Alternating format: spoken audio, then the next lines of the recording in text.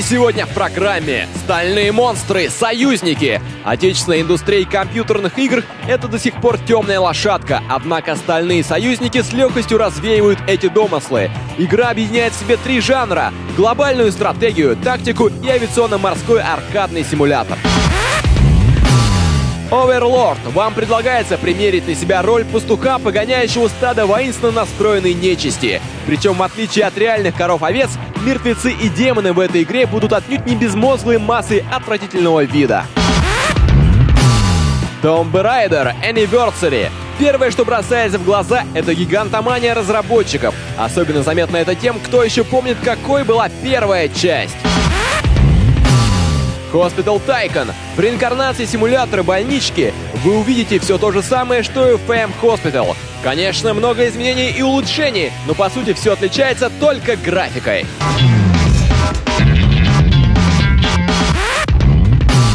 Привет, народ! Это снова Борик и ФАК. ФАК — это программа о компьютерных играх, в которой мы отвечаем на ваши вопросы по прохождению и даем полезные советы. Переходим к делу. Давным-давно, примерно 10 лет назад, жила-была компания Valve Frog Studios, которая клепала очень неплохие игрушки. И вот однажды свершилось чудо. На свет появилась игра Team Hospital. Игра, которая заворожила миллионы игроков. А некоторые из них и по сей день играют в это чудо игровой индустрии и ждут не дождутся. Когда же, наконец, появится ремейк? Дождались! Представляем на ваш суд игру Hospital Tycoon.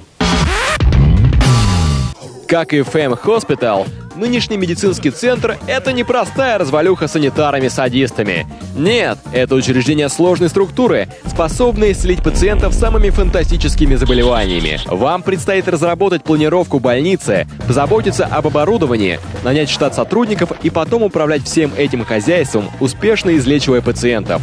Игра состоит из нескольких уровней, и для прохождения каждого из них необходимо выполнить определенные требования.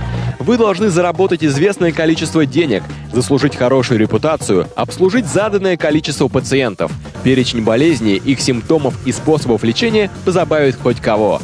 Игра поступила в продажу 6 июня 2007 года. Рекомендуемые системные требования. Процессор 3 ГГц, 1 ГБ оперативной памяти, 1,5 ГБ на жестком диске, а также видеокарта уровня GeForce 6600 или Radeon X1300 и 128 МБ видеопамяти. В реинкарнации симулятора больнички вы увидите все то же самое, что и FM Hospital. Конечно, много изменений и улучшений. Но по сути все отличается только графикой. Вы так же, как и раньше, будете заниматься планировкой помещений. Некоторых из вас порадует подача истории в виде сериала. Достаточно забавная задумка. Но больше 4 баллов за геймплей поставить никак нельзя. Слишком скучно получилось сравнение с FM Hospital. При этом графика сделана на высоком уровне, все прорисовано четко и со вкусом. Вы можете разукрасить свою больничку в любой цвет радуги, а анимации персонажей и проявления их болезней порадуют любого фаната этой игры. Наша оценка графики 5 баллов. Теперь опять о грустном. Озвучка немного подкачала. Голоса дикторов, которые подсказывают вам, что делать, выполнены в стиле бормотания симов. Это очень раздражает. И теперь вы уже не услышите задорный голос секретаря. Доктора просит пройти в GP Office. Поэтому наша оценка звукового сопровождения всего 4 балла. В общем и целом, если не сравнивать эту игру с Fame Hospital, то получается вполне приятная картина, качественная графика, интересная идея и какой-никакой сюжет. Наша общая оценка игры 5 баллов, но с минусом.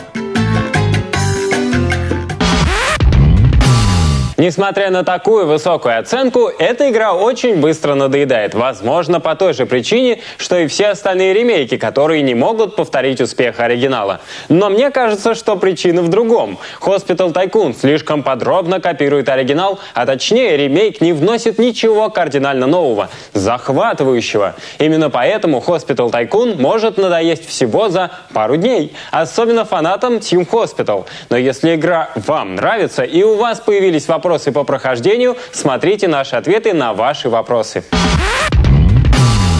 Первый вопрос. Помогите мне, у меня проблема. Есть пациент и все необходимое оборудование и доктор для его лечения. Но этот пациент сидит на скамейке, пьет кофе и читает газеты, а лечиться не идет. Ну что мне с ним делать? Отвечаем. Попробую нанять медсестру. Она поговорит с этим пациентом и отведет его в нужный кабинет. Следующий вопрос. У меня странная ситуация. Я построил аптеку, и в ней успешно лечились пациенты. А в это время я построил еще одну аптеку.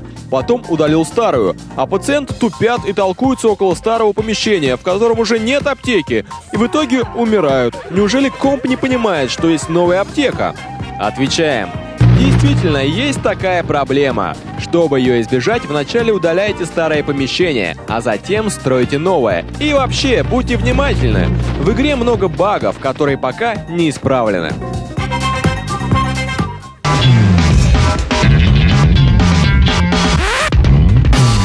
Бич любого шедевра — это его вторые и следующие за ними части. Всевозможные ремейки и аддоны. Рано или поздно такая судьба ждет любую качественную игру. Стальные монстры первоотечественной Леста Studios не стали исключением из этого правила. Спустя каких-то полгода после релиза оригинала появляется полноценный аддон, известный как «Стальные монстры. Союзники». Сейчас мы узнаем, чего стоит обещание разработчиков, и так ли уж было необходимо спешить с выпуском дополнения.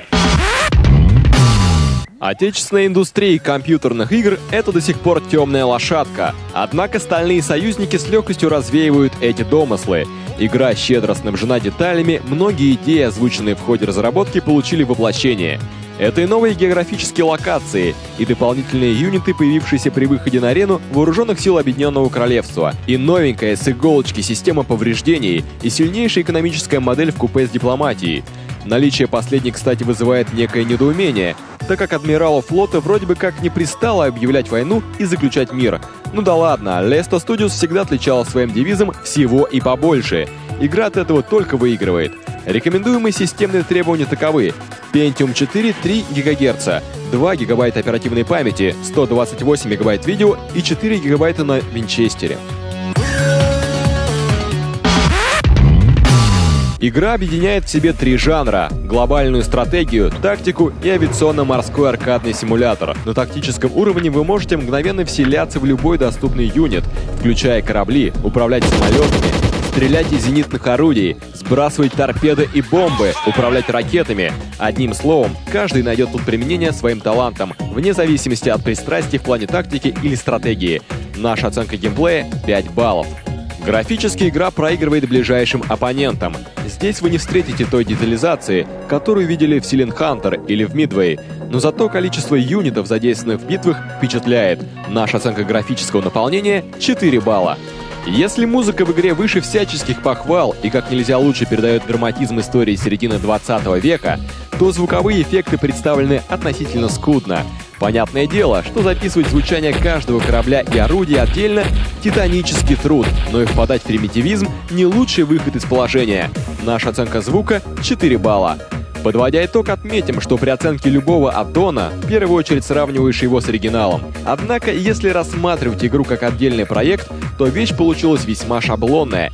И по сути, название выше, чем середнячок, претендовать не может. Наша общая оценка игры — 4 балла. Стальные монстры, союзники, конечно, не дотягивают по графике до тех же пестрящих голливудскими спецэффектами Battle Stations Midway. Однако масштабы, проделанные разработчиками работы, впечатляют. Чего стоит система повреждений, пришедшая на смену аркадному лайфбару. В общем, если вам понравился оригинал, то вы будете, безусловно, в восторге от аддона. Любителям же хардкорных варгеймов и симуляторов, как и полгода назад, просьба не беспокоиться. А теперь наши ответы на ваши вопросы по игре. Первый вопрос. А как правильно торпедировать корабли в ручном режиме? Отвечаем. Зависит от типа торпедоносца, но общая схема такова. При подлете к цели снижаемся на высоту около 150 метров и на расстоянии меньше 1000 метров выпускаем торпеду. Сразу после этого рекомендуется совершить маневр с резким уходом вверх и в сторону, если, конечно, это позволяют сделать тактико-технические характеристики самолета. Следующий вопрос. В игре есть режим автобэдл. Стоит ли им пользоваться для просчета битв? Отвечаем. Нет, ни в коем случае. Опция, конечно, соблазнительная, но очень уж кривая. Согласитесь, потерять ударный флот линкоров в стычке с сохранением конвоя не лучшая перспектива, а искусственный интеллект часто таким грешит. Поэтому всеми важными битвами лучше руководить самостоятельно. Следующий вопрос. А можно отступить из битвы так, чтобы не засчитали поражение? Отвечаем. Нет, игра устроена так, что тактические отступления тут не в чести. Бейтесь до конца или не бейтесь вообще. Таков девиз игры, и мы настоятельно рекомендуем ему следовать.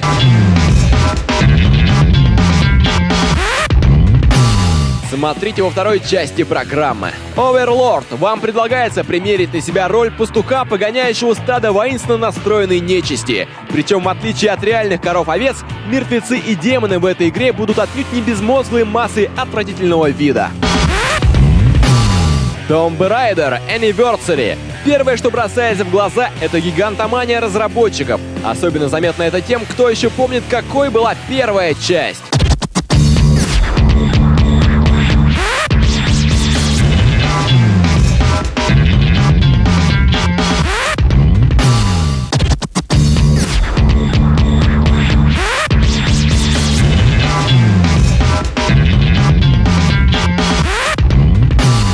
Смотрите во второй части программы. Tomb Raider Anniversary. Первое, что бросается в глаза, это гигантомания разработчиков. Особенно заметно это тем, кто еще помнит, какой была первая часть. Оверлорд, вам предлагается примерить на себя роль пастуха, погоняющего стадо воинственно настроенной нечисти. Причем, в отличие от реальных коров-овец, мертвецы и демоны в этой игре будут отнюдь не безмозглые массы отвратительного вида.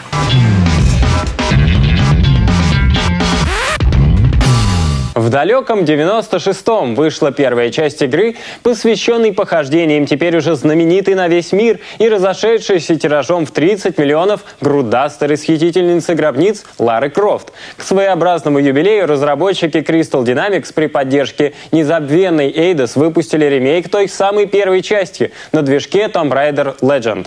Посмотрим, что же изменилось за более чем 10 лет и какова теперь любительница стрельбы по-македонски. Первое, что бросается в глаза при взгляде на Tomb Raider Anniversary, это гигантомания разработчиков. Особенно заметно это тем, кто еще помнит, какой была первая часть. Уровни скопированы, конечно, не один в один, сделаны поправки на более богатую пластику Лары, заимствованную из легенды, но в общем и целом атмосфера оригинала сохранена. Сюжет игры все так же представляет из себя эпическое действо, разбитое на 14 частей, в которых вам не придется скучать.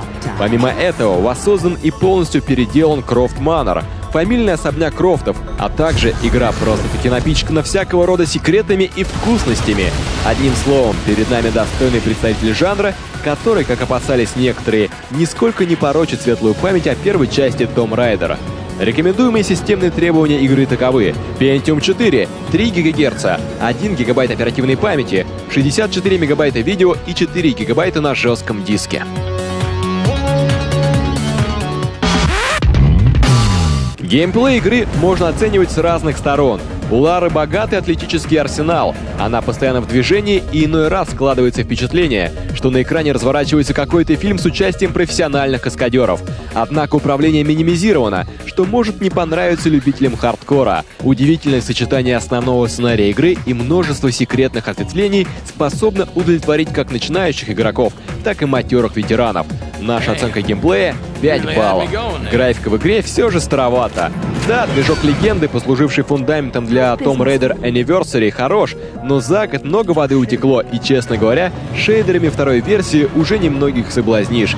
Еще можно пожаловаться на небольшую информативность видеовставок. Если в оригинальном Tomb Raider в них раскрывалась половина сюжета, то теперь это просто отбивки между частями, которые не несут практически никакой сюжетной нагрузки. В общем и целом, видеоряд добротен, но не более того. Наша оценка графического наполнения — 4 балла. Звук в игре нареканий не вызывает. Музыка создает вполне себе мрачную атмосферу, присущую подземельям, по которым пробирается наша героиня. Сама она, кстати, достаточно скромна и редко когда отпускает реплики. Наша оценка звуковых эффектов — 5 баллов. Итак, Tomb Raider Anniversary. С одной стороны, впечатляющая реинкарнация Лары Крофт, достойная занять место на полке рядом с остальными частями сериала. Другой, игра не привносит ничего нового в жанр и сделана по принципу «возьмем самое лучшее и совместим в одном проекте». Хотя требовать большего от ремейка и не нужно. Главное, чтобы разработчики не соблазнили сделать ремейки и к остальным частям. Наша общая оценка игры — 5 баллов. Tomb Raider Anniversary в первую очередь, конечно же, посвящена фанатам или тем, кто не следил за сериалом с самого начала. Все это, впрочем, свойственно любым ремейкам. Для человека же, объективного при взгляде на игру, сразу становится понятно, что это обычный денежный куст, который грех не состричь. Об этом же говорит и кроссплатформенность игры, что, безусловно, снижает планку ее качества. Но как бы там ни было, прохождение игры все же увлекательно. И мы сейчас ответим на те вопросы, которые вызвали у вас затруднения. Первый вопрос. Как купить Тирекса в конце уровня Lost Valley? Отвечаем. Стреляйте по динозавру, пока красная полоска, символизирующая уровень его ярости, не заполнится. Затем, когда он побежит на вас, перестаньте стрелять, подпустите на достаточное расстояние и совершите кувырок в любую сторону с помощью клавиши Shift. И когда два серых прицела превратятся в один красный, полите со всех стволов. Следующий вопрос. А как расправиться с двумя кентаврами в храме Тихокана? Отвечаем. Чтобы избежать попадания их смертоносных лучей, превращающих в камень, используйте крюк. Найдите в комнате щит, выдерните его и используйте по назначению. Как только вы с ними расправитесь, уровень будет пройден. Следующий вопрос. А что нужно сделать с солнечными часами в особняке? Ну никак не могу разобраться. Отвечаем. Как только вы их активируете с помощью гномена, выставьте на циферблате числа 11, 2 и 6. Железные двери распахнутся, и при помощи карты, найденной в библиотеке, вы сможете пройти лабиринт и получить вожделенный крюк.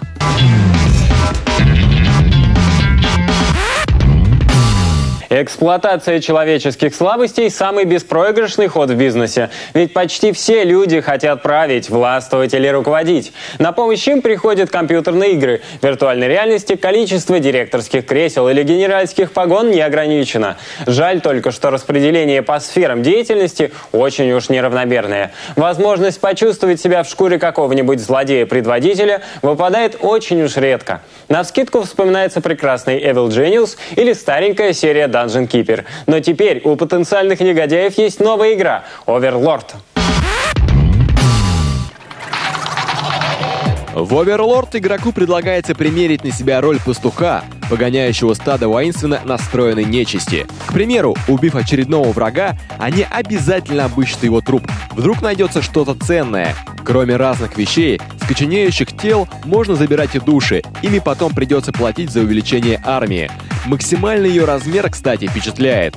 Под нашим началом может находиться до 50 голов, а этого вполне хватит на маленький Армагеддон. Ну и, конечно же, у нашей нечистой армии, как и у любой уважающей себя армии, есть свой собственный штаб. Огромная и мрачная башня, в которой предводитель шайки бесов отдыхает от злодеяния прошедших и планирует злодеяния будущее. Здесь же тренируются верные чудища, а кузнецы мастерят всевозможную экипировку из награбленного добра.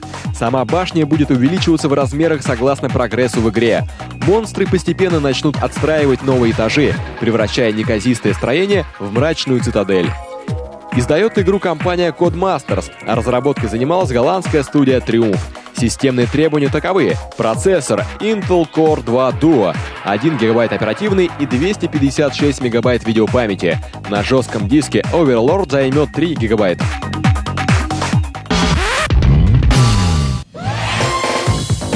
Геймплей основан на беспощадном поглощении добра злом. Вокруг нас обитают местные жители. Простой такой народец, мирные и добрые людишки, идеальные кандидаты на то, чтобы оказаться под нашей пятой. Пятерка за геймплей. Графика достаточно стандартна для сегодняшних времен. Отметить стоит разве что интерактивность. Например, маги смогут сжигать любые постройки дотла. Впрочем, практика показывает, что в симуляторах злодея на первый план выходит даже не новомодные технологии, а стильность. Ведь изобразить темную сторону ужасной, но в то же самое время красивой и чуточку романтичной – очень сложная задача. Но программисты из Triumph Studios справились с ней на твердую пятерку. Звучит Overlord безукоризненно. Черти смешно корчатся и кривляются. Музыкальные треки сменяют друг друга в зависимости от происходящего на экране, а грозные голоса главных злодеев вселяют страх во все живое. Пятерка за звук. Оверлорд, конечно, не шедевр, но игра подкупает своей неповторимой атмосферой и оригинальной концепцией геймплея. Кроме этого, качество продукта также очень достойно. Твердые 5 баллов получает Оверлорд. Оверлорд – проект, который сам себе пробивает дорогу. Несмотря на немалый бюджет и довольно оригинальную концепцию, разработчики совсем не позаботились об элементарном пиаре игры. Но, судя по всему, Оверлорду реклама ни к чему. Поклонники таких скандальных игрушек, как GTA, Manhunt или Postal, ждут не дождутся, когда им наконец удастся разорить первую деревеньку или поджарить на медленном огне всех ее жителей. Итак, мои маленькие злодеи, пришло время ваших вопросов и наших ответов. Вопрос. А нельзя ли в игре поменять скорость? Очень все медленно происходит. Отвечаем. Нет, скорость игры тут ни при чем. Старайтесь большую часть поручений выполнять при помощи слух. Они значительно шустрее главного героя и довольно сообразительные. Следующий вопрос. А что за процентная полоска появляется при вызове кричеров? Ответ. Это сила миньонов. Она увеличивается, когда они находят новое оружие и экипировку для себя. Вопрос. А зачем в игре нужны души? Ну никак не понимаю. Отвечаем. Души — это тот ресурс, из которого рождаются миньоны. Не по количеству, а как материал для самого рождения. Вопрос. А для чего нужны колдуны и убийцы? Отвечаем. Колдуны могут наводить порчу, пугать, банально выжигать все вокруг и лечить дружественные войска. Убийцы — это нечто вроде адского спецназа. Использовать их лучше в хорошо обдуманных, хитрых и молниеносных операциях.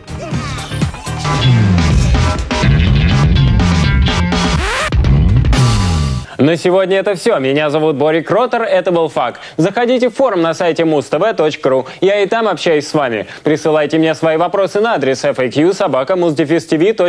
Мы обязательно все посмотрим и ответим на ваши письма. Пока.